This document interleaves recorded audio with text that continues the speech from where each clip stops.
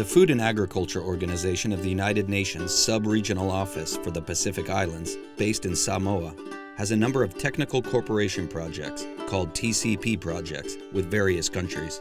Within one of these TCP projects, the Republic of the Marshall Islands requested a training video on capture techniques for targeting the abundant and underutilized flying fish resource of the Marshall Islands. This video captures the latest commercial capture techniques for flying fish that have evolved in Kiribati. The value addition processing techniques also conveyed in this film actually double the value of flying fish when processed as demonstrated. When good quality flying fish are utilized, this offers some of the best economic increases when further processed.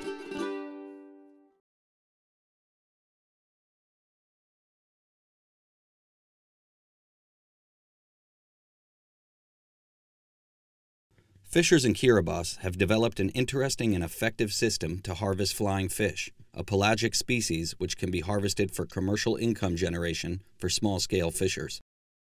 The common skiff design often used in Kiribati proves an ideal craft for this gill net fishery. The boat used for this tutorial is rolled into the water in preparation for today's fishing trip. The nets are loaded in what we call sets. Each set is a net bundle of 3 by 100 meter lengths of netting. This when made into a fishing net, is suitable for two people to carry and load onto the boat. First, the net is placed into the boat so it will be deployed easily. You will notice they tie the other net sets together to make three net sets joined as one. The net bundles are joined to make the desired length of netting for a day's fishing. The ideal fishing grounds are in deep oceanic water on the leeward side of an island and when the conditions are calm. The net is set starting in approximately 15 meters depth and set directly out to sea at 90 degrees to the shoreline. Fishers say that you do not do this fishery during rainy periods, as the flying fish will go into deeper water during heavy rain. The boat is motored at approximately 4 knots while setting the net. Not too fast, as the crew need to be able to carefully untangle the net as it is being deployed. In this manner, the net continues to be set. Getting towards the end of the set, the captain and crew carefully try to judge when they have approximately 80% of the net deployed. Then, they will use the remaining 20% for the hook shape in the end of the net. When setting the hook shape into the end of the net, note that the boat is in reverse gear and towing the end of the net into this desired hook shape on the end. Now that the boat is holding the end of the net and in reverse gear, it is towing the net to maintain the hook shape in the end. Now the crew are waiting for the flying fish schools as they come along the coastline of the island. Fishers say that any time of the month and any time of day you can do this type of fishery. As schools of flying fish are seen approaching the net, the boat and engine are used to scare the flying fish along the net and into the hook end.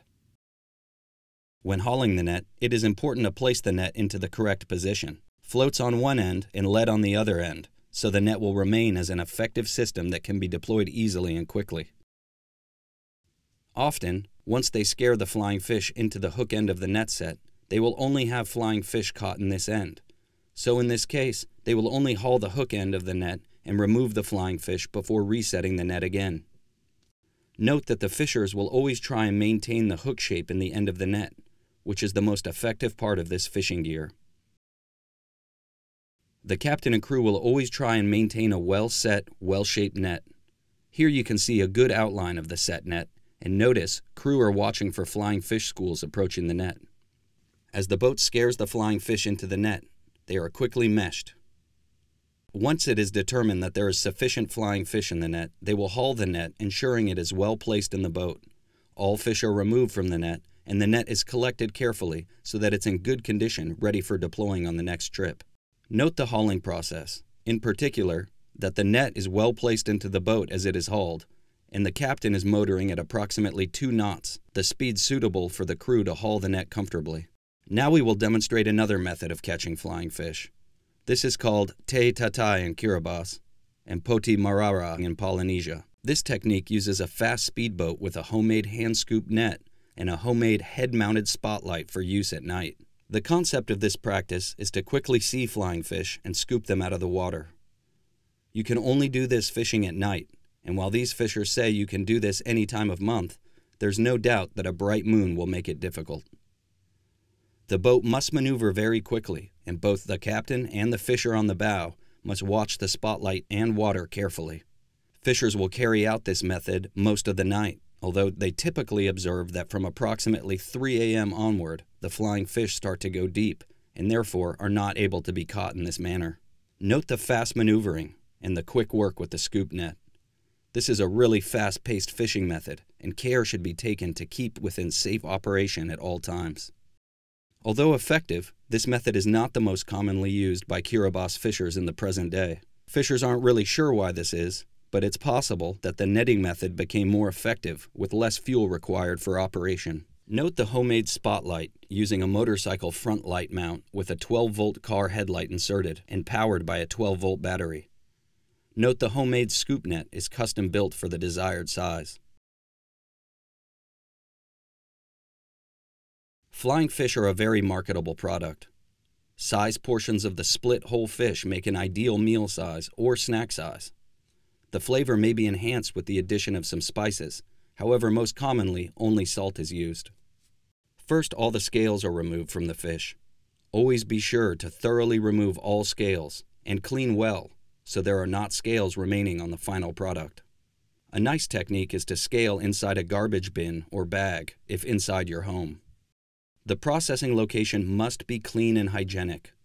Sanitizer can be made by mixing one capful or approximately 10 milliliters of household bleach per liter of fresh water, and this is used to ensure all surfaces, processing tools, and hands are fully sanitized and clean of germs or bacteria. Processors should also do a fingernail cleaning and scrub well before beginning processing. Notice we have a sanitation standard operating procedure on display, as well as the process log, which includes directions for the recipe to be used. Next, the heads of the flying fish are removed. We then cut down the back of the flying fish with a sharp knife. Always be careful to make nice, clean, sliced cuts. Not rough and messy, as presentation is everything when it comes to any processed fish product. Here we have the local Kiribati style with all bones remaining in the product. This is the most common type of processing throughout the Pacific. Alternatively, the fish can be prepared in a style where all of the bones are removed, starting with the removal of the stomach cavity bones. This is the recommended style, as it can help to improve appearance and make the product easier to eat and enjoy without worrying about bones. Now we remove the pin bone in the center of each fillet. Be careful not to cut through the skin, as keeping the skin intact will also help improve the value of the product. Once the pin bone on one side is removed, begin removing the pin bone on the other side of the fillet. Here we see on the left the Kiribati style with all bones remaining in the product, and on the right, the product with all bones removed. Take note of the obvious difference in appearance between the two. Next step is to marinate the fish. On the right, we have a marinade consisting of half mug of light soy sauce, half mug of rainwater, quarter mug sugar, 2 teaspoons minced garlic, and 1 tablespoon of salt. On the left, we have an alternative marinade of a quarter mug sea salt per 1 liter of rainwater. Once we've thoroughly washed and rinsed the flying fish raw product, we now place it into the brine for 25 minutes. For the purposes of this demonstration, we have placed the raw deboned flying fish product into the marinade for 25 minutes. But ultimately, these details will be up to you to experiment with. We encourage you to also experiment with different flavors so that you might expand your market potential. Now we rinse the brine product and place on the drying rack. Note that the brine should not be stored for future use. This would impart unsatisfactory taste. We now rinse half the marinated product and place onto a drying rack. We do not rinse the remaining product, we just place directly onto the drying racks. You get to decide which taste you like best. Here we see the marinated product for smoking has been placed on the drying racks for approximately 30 minutes.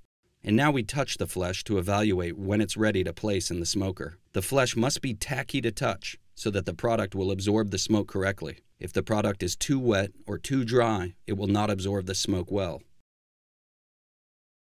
This is our homemade drum smoker. At the bottom, we have a baffle to prevent flame reaching our product. And then above are the racks that hold the product. This is a simple design that anyone can use to make an at-home smoker. Now we load the product into the smoker. Be careful to document your smoking time well. This will help to ensure you have a good idea of what fish has been in the smoke and for what amount of time. It's important to ensure we have good smoldering coconut husks in place before the fire door is closed. You do not need large volumes of husk, and you want to avoid large flames. Ideally, you want a nice smoldering fire of embers.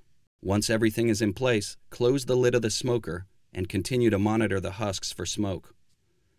While smoking, turn the product over and continue the hot smoking at 80 to 90 degrees Celsius for 2 to 3 hours. The nicely smoked product, once cooled, must be packed in clean plastic pouches or containers. The product is shelf stable for two days from the finishing of the smoking. If stored at 4 degrees Celsius or lower, the product is good for 10 days. Once you have your product processed, we need to think about the best options to market our products. Here we demonstrate the option to market our flying fish in half-size pieces. This offers better potential for higher value return than marketing the whole fish pieces. Here we demonstrate the process. Now we need to consider our packaging options.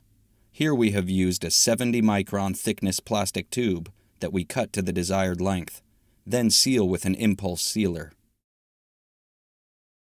With packaging, you need to get inventive. Presentation is everything, and your financial return depends on how well you present your product to consumers. On the left, we have a single pouch that is extended in length to incorporate a nice label. On the right, we have used two pouches and placed a color label in between the pouches. Remember, the consumer needs to receive a food-safe product. It is well documented that plastic is acceptable when it is used to preserve our valuable food resources. Your packaging is also adding value to your product.